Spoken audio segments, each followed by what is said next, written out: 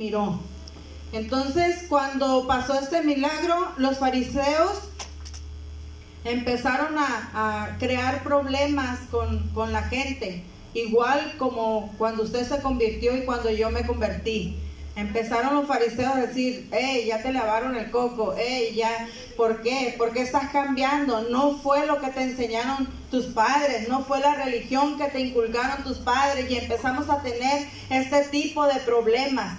Y, y, al igual que el ciego, a nosotros nos pasó de esa manera. Este hombre le dijo, bueno, ya se los dije una y otra vez. ¿Cómo quieren que les explique?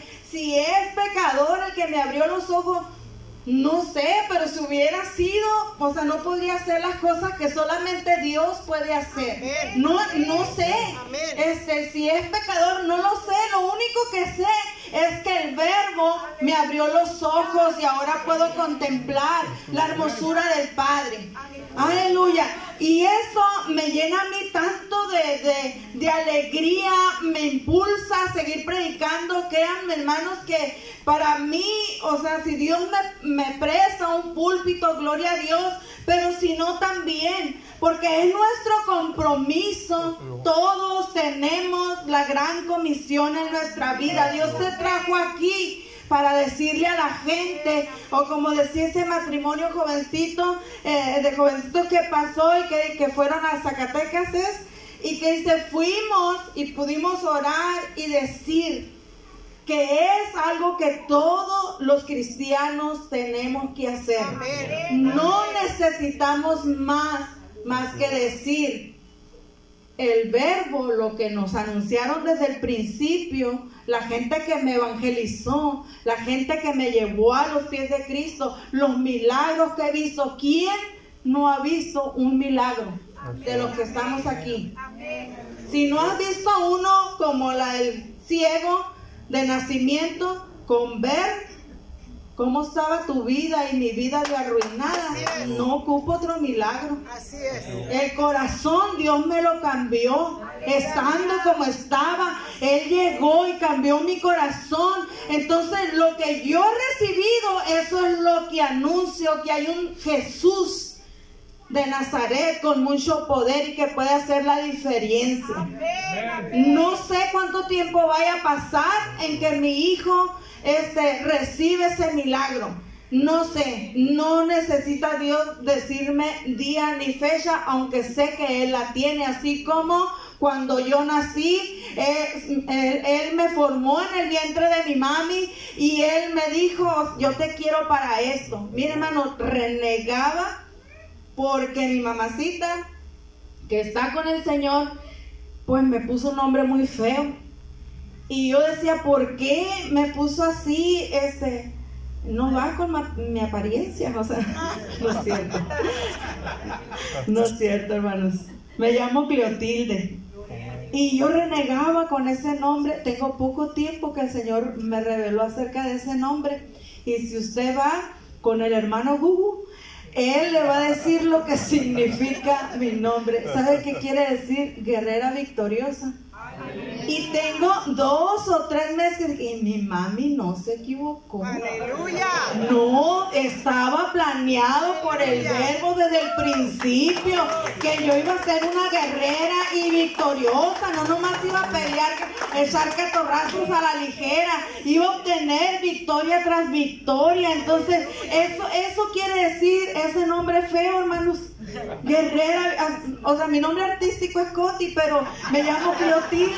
Entonces, ¿qué quiere decir guerrera victoriosa? Y si usted me está diciendo mi nombre, usted, guerrera victoriosa, Dios le bendiga. Y guerrera victoriosa, fíjese, y tanto tiempo luchando con mi mamá, esperando que estuviera más barato para cambiar mi, mi acta de nacimiento. No, ya no la cambio. Amén. Es algo que dijimos, pues no mi, mi mamá idólatra, mira lo que, pues es que mi mamá dijo que voy a ponerle lo que traiga porque este, no había más que un doctor y, y resulta que, que yo nací yo iba a decir anormal, pero no es anormal, hermano, no soy anormal. nací como, no como nacen todos, pues en lugar de cabeza, yo nací de pie y no he podido parar hasta este día. nací de patitas o piecitos y dice mi mamá que me dieron muchas nalgadas, con más de 10 nalgadas, entonces mi mamá era güera de ojos verdes, yo también era así, nomás que con tanta nalgada me dejaron morada y ni modo, o sea, es así como se, se vive y se disfruta la vida, como Dios nos, nos, nos toque, como lo que tengamos que enfrentar en la vida. Ahora, ¿qué necesitas tú? Para decir que Jesucristo es real. No necesitas un púlpito. No necesitas el primer lugar en la iglesia. No. ¿Qué pasó con tu vida? Si, dijo el pastor, si le damos chance a que testifiquen todo, nos vamos a amanecer. Entonces, ¿por qué no gritar ese testimonio afuera? ¿Por qué no decir lo que hemos escuchado desde el principio, lo que hemos oído? Que Jesucristo es real, que Jesucristo es verdadero, que Jesucristo sana, que Él hace la diferencia en el hombre, que Él transforma, que Él cambia, que Él hace lo que Él quiere y como Él quiere. Es todo lo que tenemos que anunciar allá afuera. Es todo lo que mi familia tiene que saber. Aleluya, que, que Él es poderoso, que Él era siempre, que ha sido siempre y que no hay otra respuesta más que Él. Lo que hemos, lo que yo he recibido es lo que yo tengo que anunciar. Yo recibí la salvación de mi alma y he recibido milagros también. He visto en la vida de mis hijos, miré muchas veces, a mi esposo le dieron eh, dos derrames cerebrales antes, mucho antes de que él eh, partiera con el Señor. Mi esposo llegó a los pies de Cristo porque él tenía cáncer, cáncer eh, terminal en su cara, estaba podrido de su cara. Y a los siete días de haber recibido a Cristo, mi esposo tenía la piel como la de un bebé. Fuimos a trabajar a la Bocana, teníamos 10 o 12 años ahí trabajando, sirviendo al Señor, y a mi esposo le cae leucemia. Y vinimos a Ensenada y, él se despidió de la iglesia, él se despidió de todos, se despidió de sus hijos y nos vinimos. Y todavía duró muchos años más. El Señor lo sanó de leucemia.